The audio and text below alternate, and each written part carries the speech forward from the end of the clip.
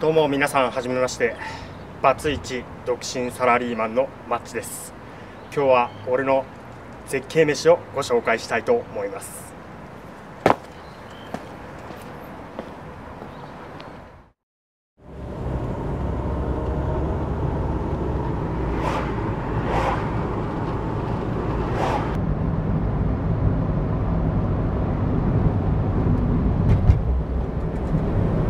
は今から1号線に移ってですね浜松の方向かっていきます。